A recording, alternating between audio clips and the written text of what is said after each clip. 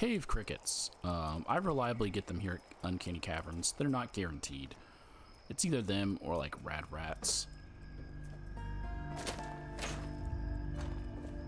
There they are.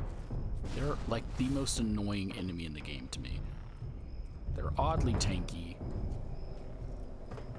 They deal a lot of damage.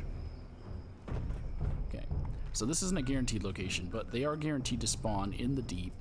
Guaranteed to spawn at Tanagra Town inside the tree, the cave inside the tree.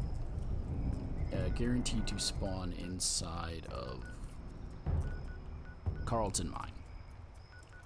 But if you don't want to go inside an interior cell, just go to the Uncanny Caverns.